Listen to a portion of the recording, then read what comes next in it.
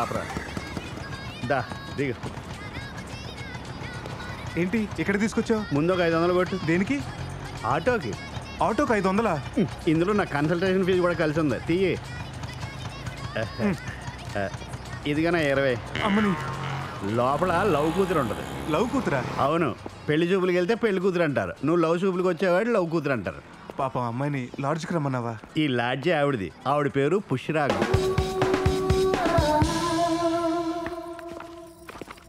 నమస్తే చెల్లమ్మా. అబ్బా రా అన్నయ్య. ఎన్నాళ్ళైందో నువ్వు ఇక్కడికి వచ్చి ఆడగజిని నిన్నేగా వచ్చాను? అదేంటో నాకు ఎన్నాళ్ళు అయినట్టుంది. అన్నిటితో పాటు ఎఫెక్షన్ కూడా ఎక్కువే. ఎంత సిగ్గు. కాళ్ళతోనే లాడ్జ్ అంతా తుడిచేద్దాం. వీరేనా? వీడే బంగారు రాజాని. వీడు వాడు ఏంటన్నయ్య నా ముందు. నాకేదోలా ఉంది. అలా అనకు. ముద్దొచ్చిన ఒక్క మూతి నాకిందని గారం కూడా ఎక్కువే. ఆ, ఆ, ఆ, ఆ? రండన్నయ్య అలా కూర్చుని మాట్లాడుకుందాం. కూర్చోండి. కూర్చో బంగారాజు. మా వాడికి కొంచెం సిగ్గు ఎక్కువ. జాగ్రత్తగా నువ్వే మేనేజ్ చేయాలి. డెఫినెట్గా అన్నయ్య మధ్యలో నేను ఎందుకులే? దాసు కూర్చో దాసు. శోభనాన్ని కూడా కూర్చోమని ఇలా ఉన్నాడు. బాయ్. అమ్మా. ఇతనే బాయ్ అవును. ఇతను బాయ్ అయితే మనం ఇంకా పుట్టినట్టే. ఇదిగో బాయ్ బాగా ఐస్ వేసి ఒక కలర్ షర్బత్ తీసుకురా. అలాగే నా కూడా తీసిరా బాబు. అది నీకే అన్నయ్య. బయటకెళ్ళి తాక్కుంటూ కూర్చో. అమ్మని ఇలాగ ఇచ్చిందంటే జట్టు ఇదిగో బంగారం. క్షేమంగా ఉండి లాభంగా బయటికి రా. అబ్బా ఊరుకో అన్నాయి. నాకు అసలు సిగ్గు ఎక్కువ. ఎక్స్ప్రెసెస్ మార్చు. మనకు అసలు అలవాట్లేదు కదా అలాంటి. నా చెల్లి పెళ్ళి మళ్ళీ మళ్ళీ. మరి నా గురించి చెప్పమంటారా? యాక్చువల్లీ మా ఫ్యామిలీలో ఎన్ని లవ్ మ్యారేజ్లో? యాక్చువల్గా చెప్పాలంటే ఫస్ట్ మా నాన్నగారు బీహెచ్ఎల్లో ఉండేవారు. అమ్మేమో దిల్సుఖ్ నగర్ ఇద్దరి మధ్య సిటీ బస్లో లవ్ అన్నమాట. చూసారా? లవ్ ట్రాక్ ఎంత దూరం ప్రయాణించిందో? అవునండి అప్పట్లో ట్రాఫిక్ కూడా తక్కువే.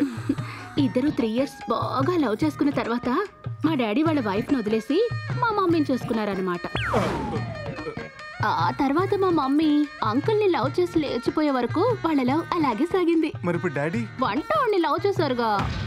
యాక్చువల్లీ చెప్పాలంటే మా అన్నయ్యది కూడా great love story. Daddy mummy love story కన్నానా? ఆ, వదిన వాళ్ళ ఫస్ట్ హస్బెండ్ మా సెకండ్ సిస్టర్ని లేపుకెళ్ళిన తర్వాత అన్నయ్య వదిన్ని లవ్ చేశాడు?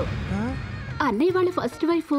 అన్నయ్యని వదిలేశాక ఇప్పుడు ఇద్దరు కలిసి ఒకే చోట ఉంటున్నారు. మ్యారేజ్ చేసుకోలేదు.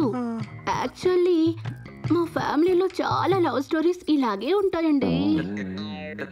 ఇన్ఫాక్ట్ నేను కూడా నైన్త్ క్లాస్లో ఉండగా మా ట్యూషన్ మాస్టర్ని లవ్ చేసి ఆయనతో వెళ్ళిపోయాను. టూ మంత్స్ తర్వాత వెనక్కి తిరిగి వచ్చేసాను ఎందుకు? వాడు మోసం చేశాడుగా.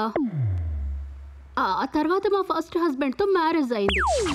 ఆ తర్వాత సంవత్సరానికి ఆయన పని మనిషిని ప్రేమించి వెళ్ళిపోయాడు. తర్వాత నేను ఈ లాడ్జ్ ఓనర్ కృష్ణారావు గారిని ప్రేమించి పెళ్ళి చేసుకున్నాను. ఈ మధ్య కాలంలోనే ఆయనకు నాకు కాస్త అభిప్రాయ భేదాలు రావడంతో విడాకులు తీసేసుకున్నాను. ప్రస్తుతం నేను ఖాళీ కదా. ఎవరిని లవ్ చేద్దామా అని చూస్తూ ఉంటే దాసర్నే చెప్పాడు. మా బంగారు రాజు కూడా నీలాగే లవ్ చేసి మ్యారేజ్ చేసుకుందామనే ఒకే ఒక కోరికతో ఉన్నాడు. మీ ఇద్దరి కోరికలు ఒక్కటే కదా? కోరికలు కోరికలు తీర్చుకోవచ్చు కదా అంటే సరే కదా అని చెప్పి మిమ్మల్ని లవ్ చేద్దామని డిసైడ్ అయ్యాను. మరి ఎప్పటి నుంచి లవ్ చేసుకుందాం? చా నువ్వేంటి ఇక్కడ? ఎక్కడైనా? యబ్బా, అది పెద్ద డైవర్స్ కేసు. నీకు అక్కలా ఉంటే నాకు అవునా? మరి నన్ను అన్నయ్య అనిపిస్తుంది ఉండు కనుక్కో. చిచి వెదవ దరిద్రం వెదవ దరిద్రం. ఎవరింట్లో అయినా మహా అయితే సంవత్సరానికి ఒకటో రెండో శవాలు వేస్తూ ఉంటాయి. వెదవ కొంప వెదవ కొంప అని. ఈ కొంపలో ప్రతిరోజు శవం గొడవే. ఈ రోజు సెవెన్ రా వెరైటీగా ఉంది. గోతులతో పాతి పెట్టి బయటికి తీసింది. చిచి వెదవ శవం కబుర్లు మీరును. అయినా ఇప్పుడు అనుకునే లాభం ముందే చెప్పానుగా. ఈ మాయదాస్ గారితో ఎక్కడికి వెళ్ళినా మాయ నాశనమే. అంతకన్నా మరి ఏమీ జరగదు. ఒరేయ్ ఈ బింది తాగి తెచ్చావా లేదురా ఇది అయిపోయినా కదే. వంటకు వాడే మడి నీళ్ళవి. తాకేవా చంపేస్తాను. రే శర్మ మడ్డంటే గుర్తుకొచ్చింది. మటన్ తెచ్చాను మసాలా వేసి బాగుండు. చిచి వెదవ కొంప వెదవ కొంప